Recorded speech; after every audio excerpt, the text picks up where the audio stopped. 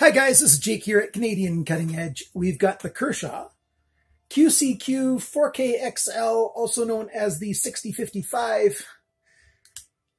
This is a big Kershaw Emerson collaboration knife.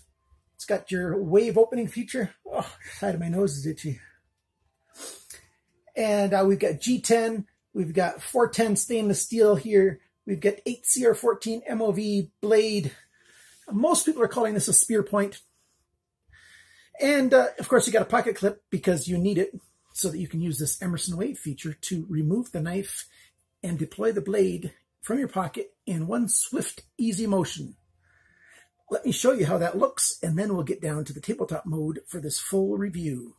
By the way, 11 months ago, almost to the day, I reviewed the smaller sibling of this knife. This is the 6034. Very similar. This guy's a clip point instead, but other than that, very similar knife. So you can look up the review for this knife. I'll have a link at the very end of this video. But if you want a big boy, stick around and watch this.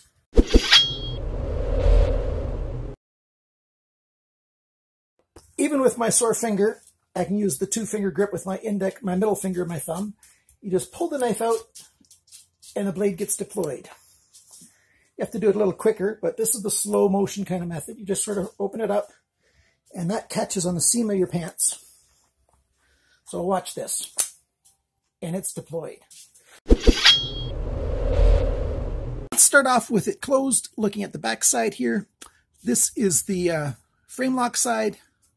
There's one thing that I'm not really fond of, and that is, you know, this is a made in China knife, but that doesn't mean it needs to be made roughly. And it doesn't have a lot of the finesse that I like to find in my folding knives. Even though it is a budget knife, it deserves to have a little bit more finesse. Like the uh, cutout here for the frame lock arm, that was a wide kind of tool that they used to cut that out. I don't see why it needed to be that big when companies like uh, Ganzo can even afford to do wire EDM, and so you got a really fine little cutout line. I'll show you a picture of one of their knives. It I don't know, it just sort of looks bad to me when you've got that much. And you got your pocket clip right there. It's a smaller pocket clip, which makes sense to me. It doesn't need you don't need to have a huge pocket clip. The pocket clip is fully functional, and you can put it right or left, except you need a longer set of screws for the other side. And I can't recall if this knife came with two sets of screws or not. But this set of screws, if I was to use them on this side, they would just go through the G10 and not get into the steel liner to uh, hang on to the threads. Okay, let's talk about the rest of the knife here. Like I said, we've got G10 here. We've got a flat or standard driver. Uh, I mean, screw right there. You need a, st a standard flat driver for that. Here we've got Phillips screws and these uh, are also Phillips screws. Uh, these are size 1. So now let's just do a little bit of size comparison. There's the uh, 6034. I've lined up the pivots. You can see that the 6055 is quite a lot bigger. Some of you are probably more familiar with uh, the Rat 1. So there we are. The rat one is just slightly smaller than this knife. If we put them on top at the pivot point, you can see the blade sticks out just a tiny bit and the handle sticks out just a tiny bit. Let's do the measurements for this knife. The uh, cutting edge on this knife is 9.65 centimeters. That's 3.8 inches. The blade length, so handle to tip, 9.9 centimeters, 3.9 inches the uh, blade thickness, and I measured back here behind the thumb disc, 3.31 millimeters. That's 0.13 inches. We've got uh, the thickness of the edge behind the grind right up there. It's a little bit heavy. It's 0.63 millimeters. That's 0.025 inches. So it's a bigger blade, not quite four inches though. And uh, you've got, you know, 0.63 millimeters, a little bit thicker than it needs to be with 8CR14 MOV stainless steel. I wish it was just a tiny bit thinner behind the grind. The uh, handle length is 12.7 centimeters. That's five inches. The uh, grip area out here is 11 centimeters. That's 4.34 inches. The handle thickness is, without the pocket clip, 1.19 centimeters, which is 0.467 inches. And the handle depth, sort of the average handle depth, because you're thicker here and you're thinner here, but sort of the average. I went at two and three quarter centimeters, just over an inch. It's a very comfortable knife in hand for somebody with a hand my size. My hands are large, right on the borderline of extra large, and this thing fits in the hand very, very well. And people with uh, medium-sized hands are going to find this okay. How much does this knife cost? It all depends on where you go shopping. The prices are all over the place. This knife is not a new knife. It's not new stock. It's been around for quite a while, several years, but it's still easily, readily available. Um, I found it on Amazon.com. So for the Americans, that's probably the best price I could find. It was $25.86 on Amazon. Canada, it's a fair bit more. Amazon.ca has it for $47.99 plus $15.32 shipping. You're looking at $63.31 total Canadian to get this. Uh, whereas Blades Canada, also known as uh, Warriors and Wonders, has it for $64.49.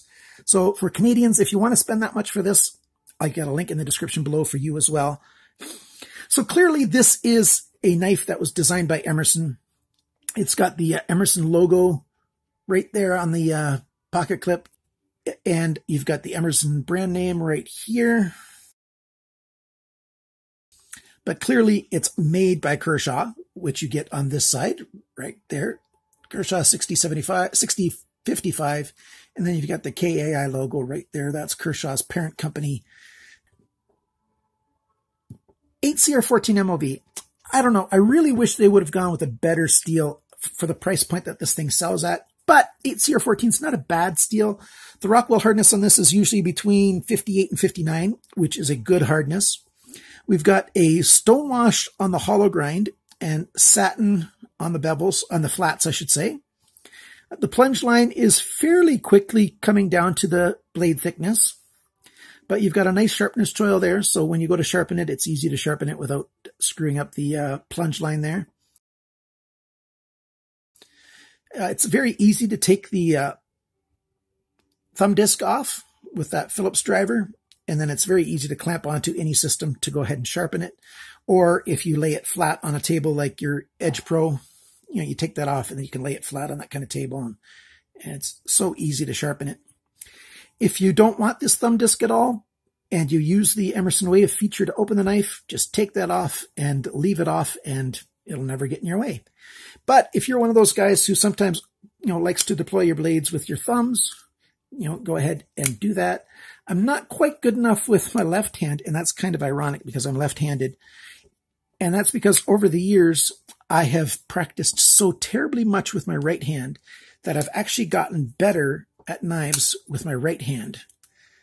Um, you know, even when I'm holding it awkwardly to deploy the blade, than I am with my left hand. It's kind of funny. But I do encourage left-handed guys to practice, practice, practice using your right hand with knives because a whole new world of knives will open up to you if you get good at it with your right hand.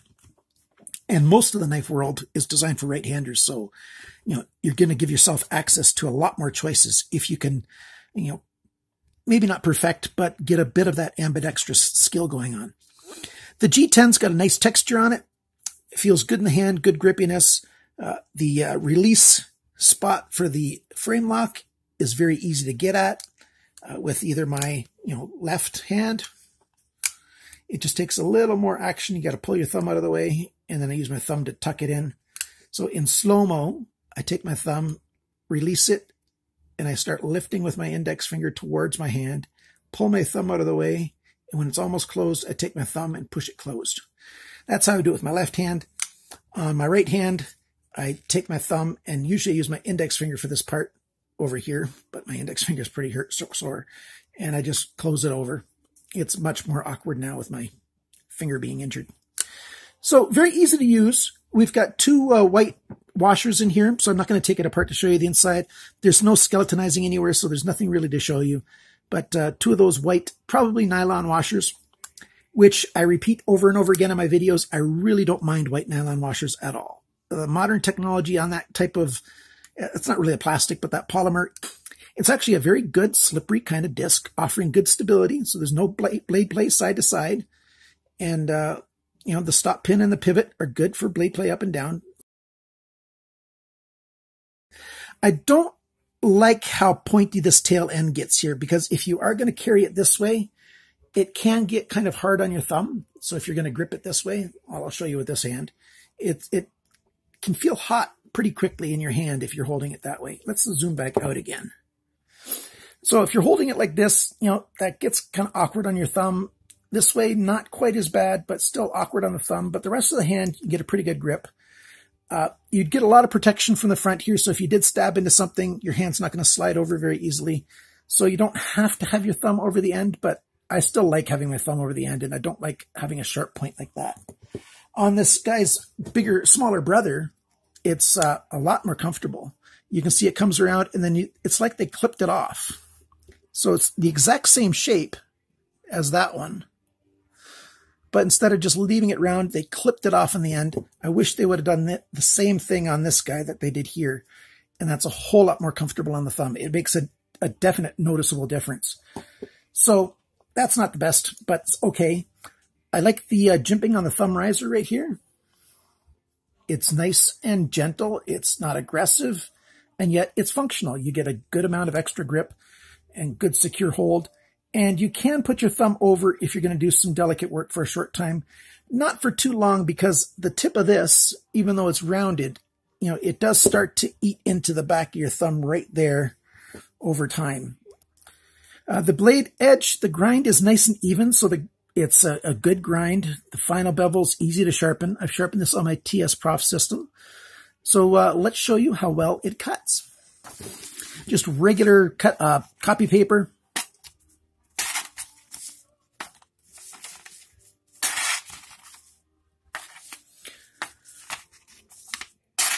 See, about half the time it wants to cut in there. It's been a while since I sharpened it, uh, but it should be doing pretty good. It's not doing the greatest.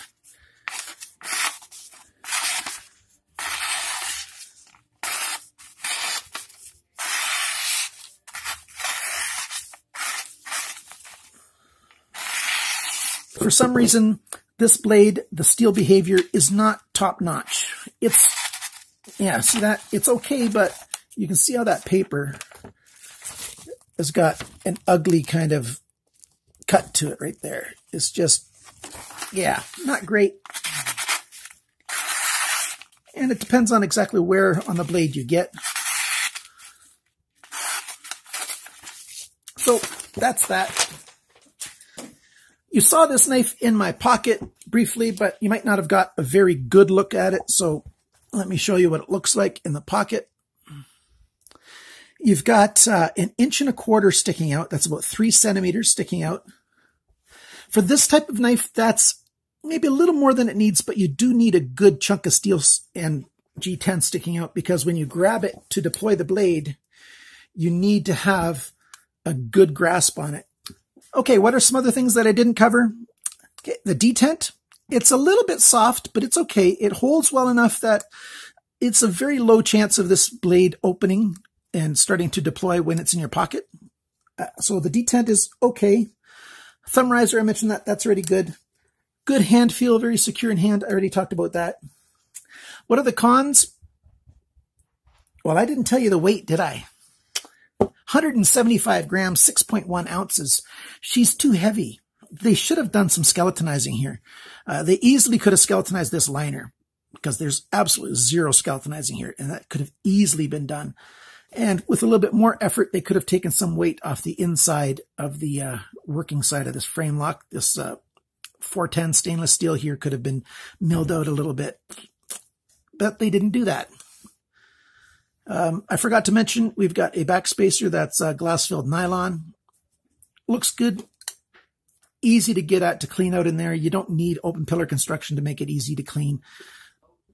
And that's about all that I want to say about this knife.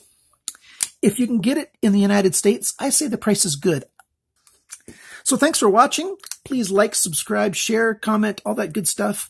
If you would like to become a uh, Patreon supporter, please click on that Patreon link at the bottom of the comment se- at the bottom of the uh, video description section. Everybody who uh, supports me at $2 or more per month gets entered for a drawing for a knife. Every single month, somebody of my Patreons will win a knife. value of that knife will be at least 30 US dollars, most likely more. It'll be the average value of the knives that I've reviewed that month. Thanks for watching. Remember, always cut towards your chum, not your finger, not your thumb.